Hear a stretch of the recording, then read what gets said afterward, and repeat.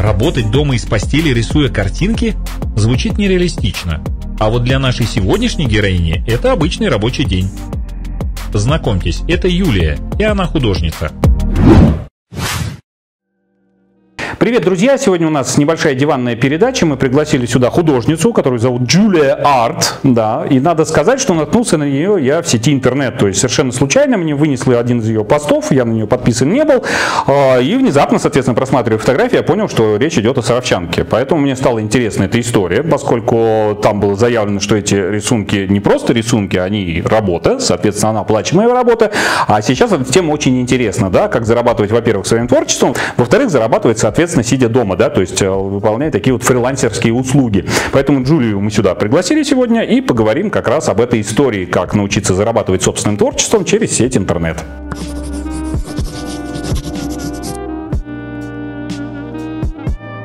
Ну, на самом деле все прозаично. Здесь родилась, здесь живу. Вообще я по образованию бухгалтер. Милый мой бухгалтер. Ну, как бы так хотели родители. Тогда особо выбирать не приходилось, и поэтому я и в Лобачевском уже поучилась в Нижнем, и потом все равно вылетела из него, доучилась на бухгалтера тоже в Нижнем, вернулась. Вот. Ну и в итоге не мое, скучно, хотя работала, да, ну как бы вроде бы и понятно, но каждый, это как зарплату считать, каждый раз опять. Хоть Ну, в общем, не мое, я гуманитарий. Вот. Ну и потом, что делать? Невозможно так всю жизнь жить.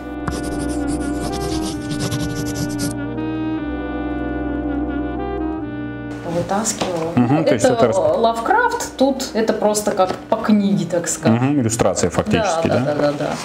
да.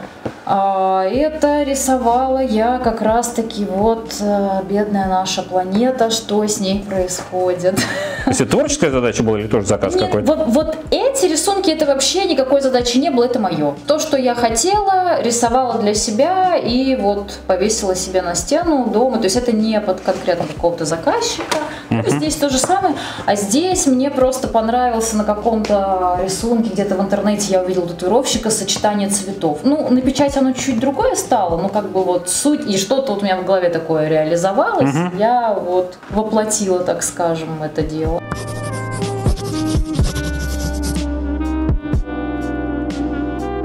Я очень хорошо помню этот момент. С одной точки зрения, этот момент был неприятный, потому что я работала бухгалтером э, в одной нашей конторе известной. Но по стечению обстоятельств... Я была замужем, то есть уже все это, и возраста мне уже... Короче, я оказалась в положении. А была, я не знаю, нормально говорить, ненормально, а была на испытательном сроке не оформлена. А я ж меня принимали на работу, я, да нет, да вы что, я буду работать, ну я как бы честно. Отследили они мой компьютер, переписку и вызвали меня и говорят, ты там что-то папки плохо расставляешь, говорит, иди отсюда. Я со слезами на глазах, зима, помню, была, у меня там, наверное, гормоны еще иду, плачу, что же делать, там ля-ля-ля. Ну и в итоге оказалась в ситуации в такой, что, ну, годика три работы у меня не будет. А я вообще такой человек, что я так не могу, мне нужно что-то как-то делать. И просто вот стала штудировать интернет. Это было давно, лет 11 назад, больше даже. Стал лазить в интернете, что можно делать. А тогда там что-то шариковые ручки собирать, какие-то, ну, в общем, чего только не было. Вот про фотошоп узнала, поставила его себе и стала что-то тыкать. Ну, что-то вот пытаться, тут сначала с фотографией что-то я пыталась, там, э, фотоаппарат себе купил, ну, как бы ребенок родился, да, фотоаппарат купил и там обрабатывала все дела, вот, потом наверное, ну как бы мне повезло, что ли, я нашла девушку, у них какой-то был коуч-центр в Москве, и им требовался дизайнер, всякие там баннеры, какие-то mm-hmm. логотипы, ну такой вот э, мелкая Рекламная такая история. работка, mm-hmm. да, но на тот момент я прям помню, они платили 10 тысяч в месяц. Так, на секундочку, когда меня выгнали, я за январь заработала 6. Угу. Постоянно ходя ножками на работу, да, и в снег, и в зной. А здесь они предлагали вот дома на диване и вроде это. Ну и таким образом вот стала я узнавать, но сначала стало какие-то там баннеры, что-то такое вот небольшое. Там, конечно, они постоянные правки, правки. Тут на 3 миллиметра сдвинь, тут на... Ну прям вот они такие правки были. Но я была счастлива, что просто вот получилось, что я работаю, что я, я прям даже помню это. Верстала журнал, у них должен был буклет такой, там какая-то конференция. Я прям всю ночь листала, верстала журнал и утром уехала рожать. В общем, прям до последнего работал. И вот они мне, наверное, дали большое понимание того, что, ну, вообще, как бы, куда двигаться, что это нужно, что это интересно, что есть... Этим можно зарабатывать. Наверное, даже, знаешь как, вот есть что-то больше, чем город Саров, угу. и вообще какая-то вот, ну, другая жизнь, что ли, другая сфера, у них там такие большие какие-то конференции, они привлекали каких-то коучей там с именитых, в общем, ну, это было интересно и познавательно, но скучно. Ну, потому что Творчества-то не было там никакого, там просто как бы все укладывалось, да, я же не могла там в баннер картинки вставлять. Нужно было просто разместить текст так, чтобы это было вот читабельно. Я довольно-таки долго проработала дизайнером, Потом я ушла в веб, веб-дизайн, mm-hmm. сайты делал, mm-hmm. но не верстал, то есть вот не эту часть, которая там в IT. Ну, оформление самого да, картинки. Да, да, да, то есть чисто вот эти вот блоки, а тогда еще в моду минимализм пришел который там, в принципе, как бы, ну, точно никакой. Если раньше, может, помнишь, там были такие шапки такая вот заходишь на сайт, она вываливается такая, тут звук там, то есть. Да, вот это да, а это все отсеклось, пришел чистый, аккуратный минимализм, то есть мне нравилось, как это выглядит, но опять же скукота.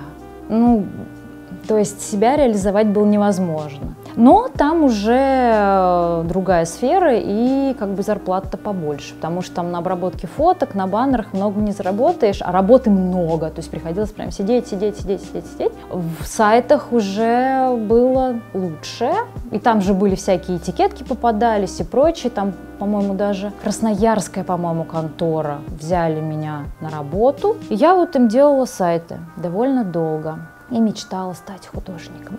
Предыстория. Меня мама лет, наверное, в 6-7 отдала в нашу художку. Я очень хотела рисовать, мне вообще нравилось это всегда. Она дала меня в художку, но как бы раньше все на таланте было построено. Mm-hmm. То есть все прям, ты должен, ты либо ты талантлив, либо нет. То есть как бы не существует другого. Ну и я, я очень хорошо помню, я нарисовала елку, а игрушечки нарисовала в соответствии с елкой.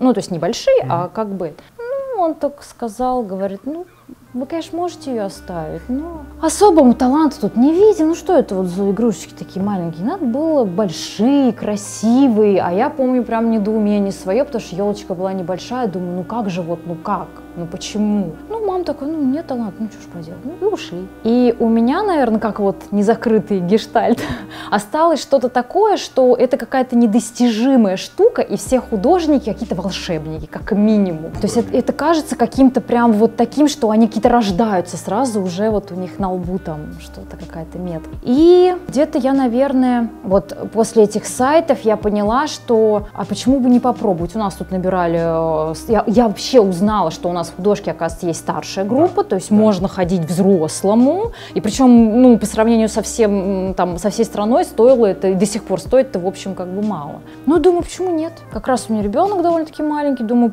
ну, буду ходить там по вечерам, посмотрим. И я стала ходить, и все учителя там, ну, просто хихикали, когда я говорила, что, типа, талант не талант. Они мне сказали, что, говорит, ты знаешь, говорит, по-настоящему талантливые люди попадаются, ну, вот прям вот один на миллион, говорит, вот э, рассказывал там преподаватель, говорит, у нас в институте парень один мог, говорит, вот э, с коленки человека нарисовать. То есть, вот прям начинает вот так, и выстраивает цвет. но, но это, говорит, вот за мою жизнь, говорит, я одного такого человека видела. То есть, как бы, научиться можно все всему. И мне очень нравилось, то есть вот я поняла, что это мое. И параллельно я стала э, смотреть вообще вакансии, то есть что требуется, то есть не просто как бы вот рисунок, да, а смотрела конкретно, что нужно этому миру, чтобы вот, ну и как бы под себя подбирала, чтобы мне было комфортно и вообще. Э, конторы, в которой вот я рисовала баннеры тогда, первая моя вот эта контора, мы год с ними проработали, и они потом, ну, кому у них там что-то произошло, они как бы развалили. И с одной девушкой вот сохранили очень хорошие отношения. Она когда узнала, что я начинаю рисовать, она там что-то,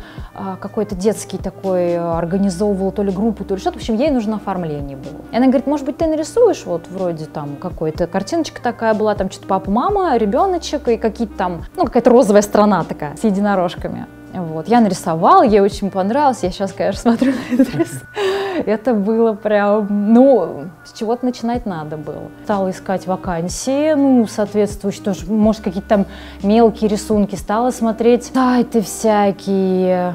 И тогда я поняла, что, ну, как бы даже, наверное, не только в России можно, можно работать и с другими странами, и вообще, и как бы стала еще и английский прокачивать. Ну, не то чтобы там прям сильно, в принципе, он мне всегда нравился. И потихонечку, потихонечку, потом вот у меня пришел, помню, большой достаточно заказ. Из Беларуси делали игру для телефона, для мобильного, и мне нужно было нарисовать вот эту вот заставку, когда вот только входишь в игру, и там а, эти вся, всякие домики, куда можно войти. Угу. Вот это мне прям очень понравилось, то есть это было прям такой вот мультяшно какой-то детский. Он, он вроде как бы вот и не слащавый, как вот э, детская книжка, да, ну, то есть для меня это было как бы немножко так. А там было, то есть там природа всякие, там море, и я поняла, что да, мне нравится, то есть это вот, вот это вот интересно, там плюс домики были всякие.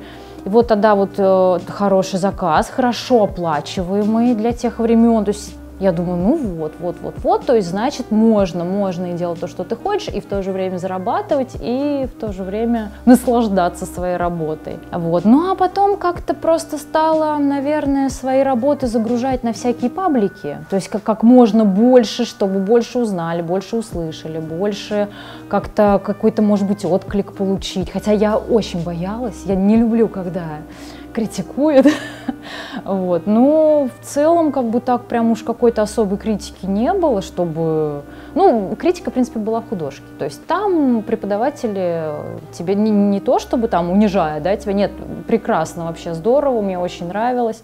Ну и я, по-моему, 4 года я в художке отучилась, а потом ну, там можно было продолжать учиться, но в целом, как бы, вот все, что она могла дать, я взяла. А там уже просто вот нарабатывался опыт, опыт, опыт, опыт. Ну, кроме того, по-моему, всех всегда интересует человек. Все хотят сразу рисовать человека.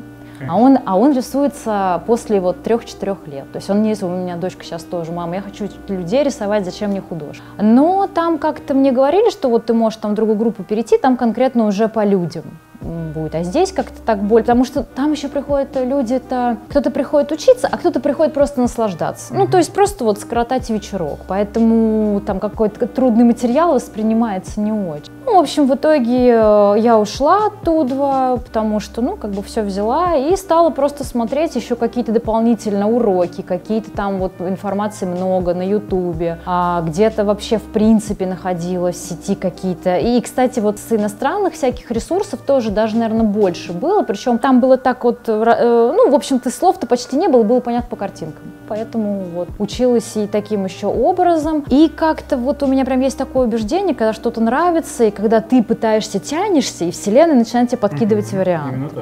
Единственное, надо в них, в дверки заходить, да, открывать. То есть нет-нет-нет, это не для меня, а наоборот. И прям как-то вот так вот завертела, закрутила. А я еще, в принципе, с детства увлекаюсь рок-музыкой. И как-то так получилось, что, по-моему, я даже не помню, кто из них был первый, но, в общем, какой-то музыкант, а, какая-то шведская группа, по-моему, попросили сделать логотип. Тяжелые какие-нибудь, да? Да, да, да, они прям тяжелые, прям такие, ух, даже не рок, это больше такой металл, даже хард какой-то такой металл. Попросили сделать логотип сначала, а потом обложку для альбома. И все, я думаю, вот это мое. То есть вот как-то а, мне нравится, что ли, вот этот вот стиль. Даже люди смотрят обычно как, о, череп, да, там угу. кошмар какой, там, и, и, и, женщины, да, да, да, там, да у вас там, наверное, с психикой что-то. Лично мне нравятся э, все вот эти вот изъяны. Ну, то есть вот когда вот ты рисуешь какие-то вот эти деталечки, какие-то такие мелочи, которые вот потом выстраивают всю картину, вот мне вот это нравится очень. Поэтому в основном там вот птицы, крылья, да, вот эти перышки, черепа какие-то там. Если это тема каких-нибудь там викингов, тоже классно там узорчики. Вот, кстати, сейчас это вот-вот отдам рисунок, рисую. Девушка заказала, у нее есть любимый кролик дома. И она говорит, я хочу вот его как викинга, нарисуй мне, пожалуйста. И в итоге э, вот я нарисовала, то есть антураж, там топорик, шлем, все это викинга, но кролик. Я поняла, что вот мне такое нравится, то есть плюс тут вот музыка, которой я всегда увлекалась, которая мне нравилась. И как-то вот стала больше тянуться в эту что ли сферу.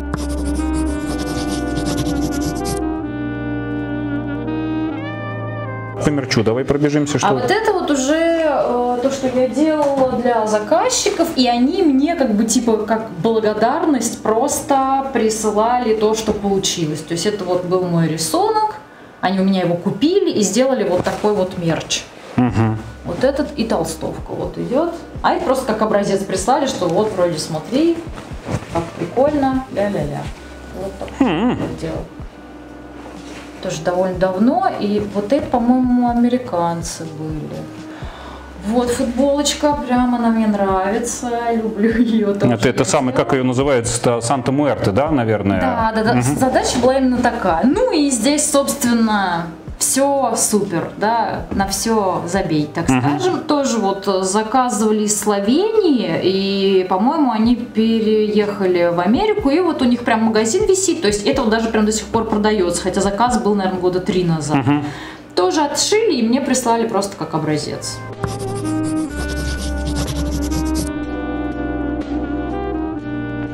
Ну вот прям два последних у меня были две группы из Питера. Заказали одним, я нарисовала мерч, по-моему, они хотели вот принт на футболку, и потом как-то им очень понравилось, они, а давай еще принт, еще обложку, и прям мы с ними так плотненько поработали. И после них вот пришли прям тоже вторые парни, тоже им нужна э, мерч на футболку. Но пока рисунки не изданы, я могу показать потом в таком плане. А прямо сейчас в работе у меня есть, э, ну как, подруга, не подруга, я не знаю, просто вот девушка тоже э, как фанат, что ли, не знаю. Она мне постоянно заказывает просто для себя рисунки. Ну, то есть он- она просто вот э, придумывает что-то и говорит, а вот ты мне не нарисуешь? Я говорю, да без проблем.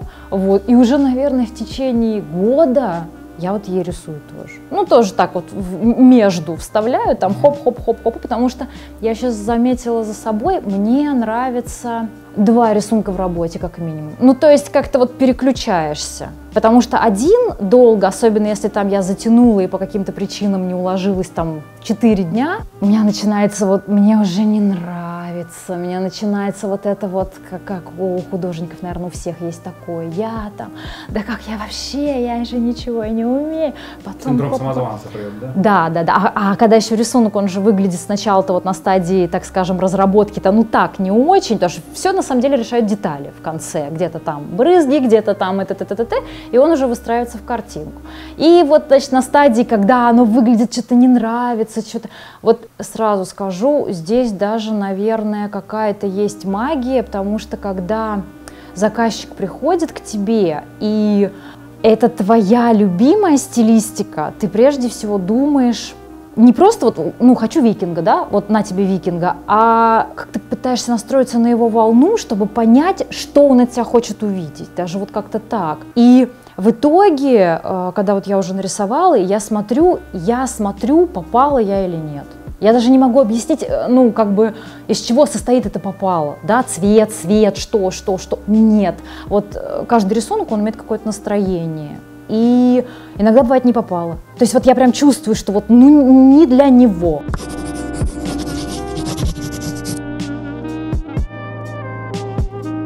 Мгм, Тот самый кролик То есть, викинг. в принципе, вот можно посмотреть, рисуем мы, чтобы на печати было черный и белый, да, все. А потом уже добавляю цвета, потому что рисую я только черным, белый не использую. Соответственно, подкладывая под него цвета, у нас контур весь остается, а его заливаем там и как-то тени и всё такое накладываем. То есть вот почти что финальный рисунок.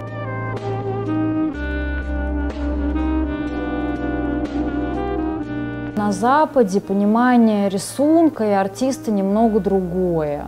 То есть э, для нас, ну как-то вот мы привыкли, что это что-то такое, ну не сильно стоящее, да, то есть, ну, что за картинку, там, да столько-то, да что за ерунда. А там, во-первых, задачи ставят по-другому, потому что вот после первой своей работы, когда мы там на 3 миллиметра сдвинь туда, на 3 миллиметра, я сейчас вообще не позволяю в свой рисунок влазить э, заказчикам. Mm-hmm. Ну, то есть, как я не показываю на стадии, там, а промежуточную покажи, нет, нет, нет, нет, еще раз нет, потому что, ну, у меня бывало такое, что он же не может залезть и узнать, э, какая у меня в голове концовка этого, рису, этого рисунка, да, то есть что я хочу видеть. А на стадии этого не видно, когда он такой не закончил. Он кажется, ну, а что, а, а вот это еще дать, а вот это, а что вот это вот. Я показываю вот э, концовку, то есть когда рисунок абсолютно готов, и если вдруг что-то там, какие-то мелкие правки, мелкие правки я вношу. Если вы решили, что мне нужен вместо кролика, не знаю, там, кот, это второй рисунок по второй цене. Раньше мне было страшно ставить условия. Раньше мне было страшно, я даже работала, помню, за там рекламу, за какие-то вот, ну, то есть такие типа плюшки, и поняла, что Выхлопа с этого нет вообще никакого. У меня вообще был в жизни случай, ну, наверное, таким гордиться я должна, потому что я работала с э, группой Lacuna Coil. Через э, там другого человека меня посоветовали. И мы прям вот с этой Кристиной, это солистка группы, контактировали. Я нарисовала ей классный такой мерч, она там его издала на всяких футболках и меня прорекламировала. То есть она прям как-то так, она настолько какой-то такой открытый человек, вот прям душевный. И она вот как каждой, а, когда постила рисунок, mm-hmm. вот этот вот, она всегда меня тегала, всегда. У них даже презентация мерча была, ну вот расстегнул, там, ты, ты, это Джулия сделал, это сделал Джулия, то есть они прям вот почему-то вот так вот меня прорекламировали. Но я к чему? То есть даже вот такая реклама таких звезд, не при... Она работает, но не приносит вот каких-то прям сразу так, ух, и ты звезда, да, головокружительный успех. Соответственно, вот люди, которые там, ну как, никто, так скажем, ну то есть вот не, неизвестно ничего, они говорят, а ты нам нарисуй за рекламу. Это тем более не работает, вообще не работает. То есть, ну и плюс ты сразу обесцениваешь свой труд.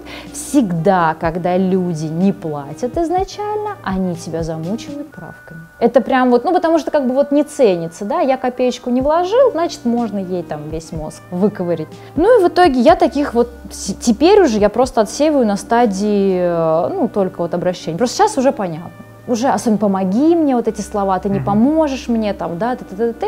Вот что я увидела в иностранной аудитории, они ценят свое и мое время. То есть если даже какие-то правки есть, они какие-то четкие. Ты дизайнер, я к тебе прислушиваюсь, да, ты художник, я к тебе прислушиваюсь.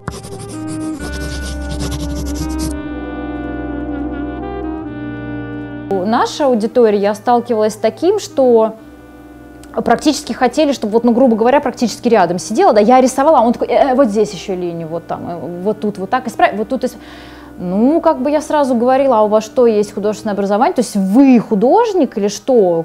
Почему вроде как вы так вмешиваетесь? Нет, ну, вроде я хочу контролировать. Я так, м-м-м, извините, если вы можете, сами рисуйте. Если не можете, тогда как бы давайте деньги, и я вам сделаю, что вы хотите. Заказ был Кейт Флинт из Prodigy. Uh-huh. Им нужно было, они что-то какой-то хотели мерч сделать, типа там вот э, рок-звезды какие-то ушедшие, что-то такое. Я им нарисовала, ну, на что мне ответили, ну, тут даже говорить не о чем вообще. Ну, то есть вот прям вообще. Сказать, что я ничего не чувствую, когда такое говорят, нет, ты, конечно, обтекаешь. Как бы там ни было, сколько бы тебе там регалий не было за, твоим, за твоими плечами, все равно это очень неприятно, и где-то там внутри, а может и правда, а может зря я все это затеяла. В итоге, вот он не принял вот этого Кейта Флинта, и я его залила вот в тот свой магазинчик, думаю, ну, хотя бы так, да. отобью деньги он стал самым популярным. Он раз, разошелся по сети, его а, из интернета скачивали, где-то я его находила в Турции, какой-то тату-салон, он висел там вот на... А он тоже такой, он наполовину череп вот такой сделан, и тут вот, ну, как бы так лицо, короче, такое. Короче, где я его только не видела потом в интернете. Какой-то американский магазин прям вот его размножил, просто вот там стер, ну там, а, не-не-не, оно прям осталось вот тут Джулия Арт, я подписываю. И прям с этим вот фигачил там, это, то есть в интернет заходишь, и вот прям его так много, но мне никто за это не платит. То есть они просто его взяли. Но я к тому, что... Я, угу, ну, значит, ну,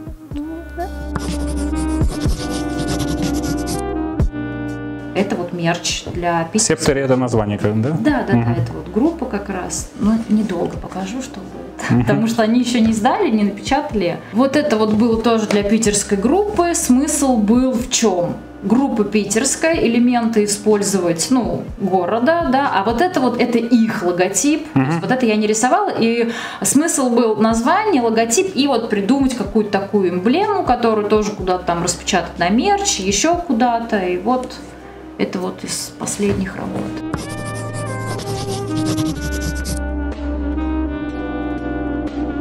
Ну, я этим живу. То есть у меня какой-то основной работы нет, это моя основная работа, прям основная работа.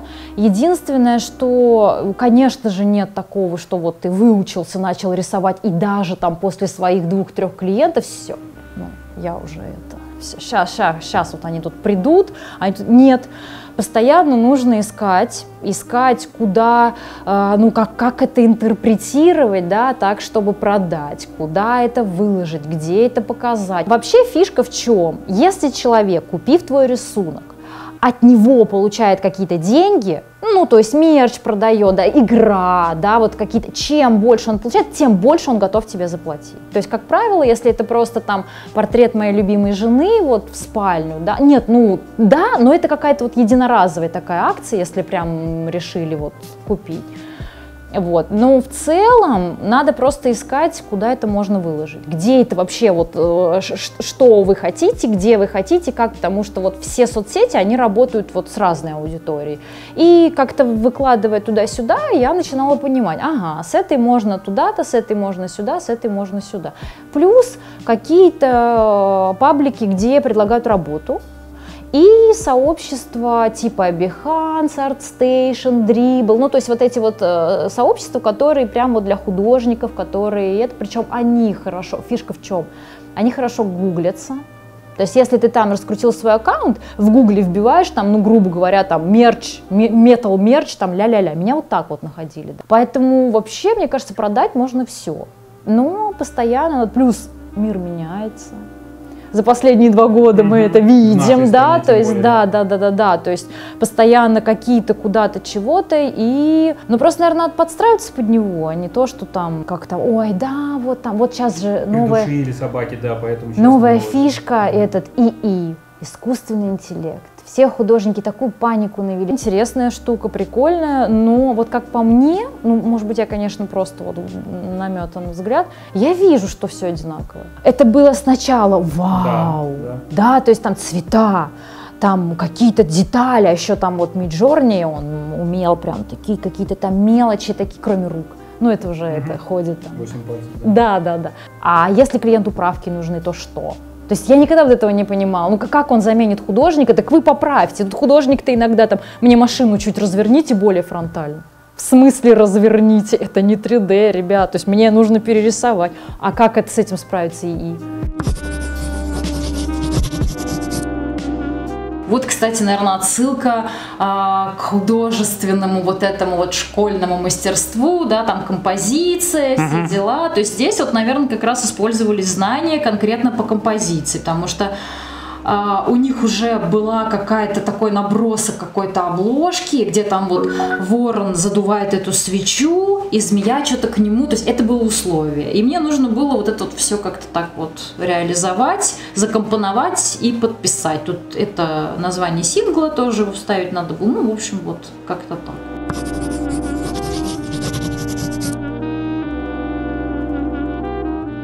Ну, вообще история довольно странная. Просто вот, э, когда я веду аккаунты, так как рисунок не нарисуешь за один день, приходится как бы, ну, что-то еще выкладывать, да, я просто кидаю свои фотки разные. Мы бывает там вот с э, фотографами из нашего города, там, ну вот какие-то, что-то такое там хочется еще как-то себя выражать, да, а давай, а давай, там что-нибудь придумать, что-нибудь фотосессии, которые концепцию придумать? Ну, типа того, да-да-да-да, бывает. Так-то вот, наверное, в такую погоду никому ничего не охота. А летом, да, и вообще у меня есть как бы и друзья, с которыми и что-нибудь выдумываем, давай, ну давай. И вот эти фотографии я выкладываю там и прочее, и как-то мне вот написали вроде, а у них частенько вообще женское лицо, женский портрет портрет очень частая тема для татуировок, mm-hmm. да, там они там по-разному его там делают с рогами, т -т -т -т -т, но по сути, в принципе, все берут вот из интернета какие-то картинки и на фоне это накладывают свой рисунок. Ну и мне сказали, говорят, а ну, можно я вроде воспользуюсь? Да, без проблем. Ну только главное там, не знаю, там не на попе там.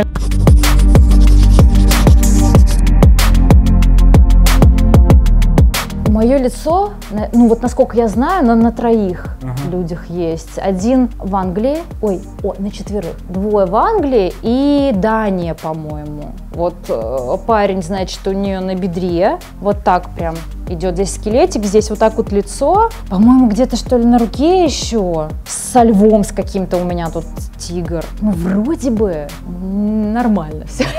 Вроде на нормальных местах.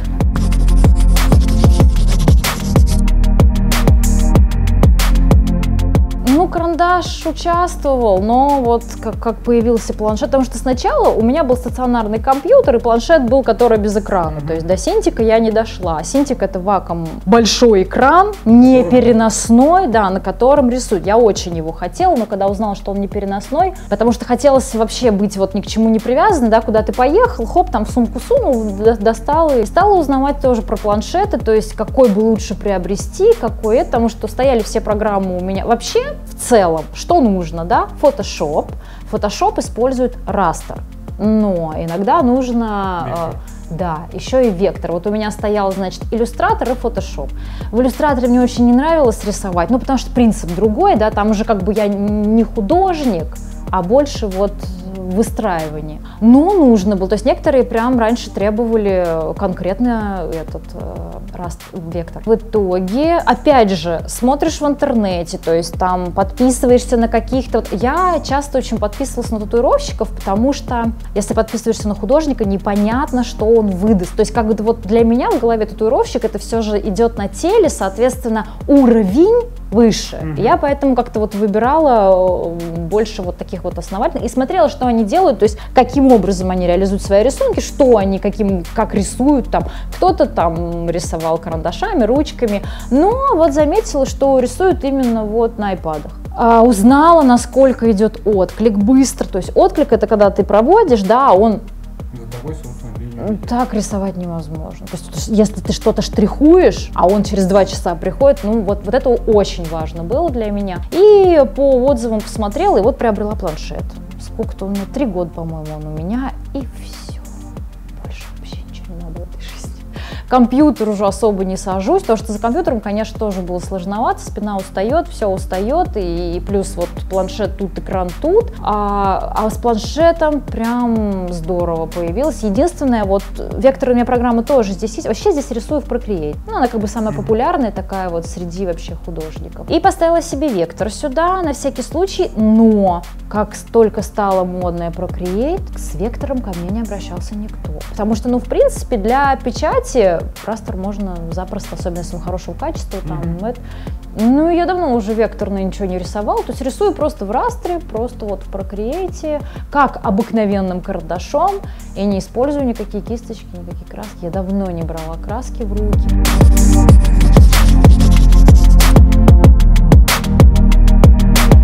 А вот это, она так немного странно напечатала, но не суть. Это вот совсем недавний рисунок, вот девушка, про которую я говорила из Германии, она просто заказывает что-то, mm-hmm. а давай то-то, то-то изобразим, я хочу. Я его делаю, отсылаю рисунок, а она там уже себе кружки все им это, и толстовки, и на футбол, ну короче, вот куда она хочет, туда это. И вот она меня поздравляла, летом у меня день рождения был, она прислала огромную всяких там вкусняшек и кружек и этих, а вот, кстати, надо было кружку еще привезти, ну ладно. И вот мне прислала вот такую вот толстовочку вот с таким отпечатанным рисуночком.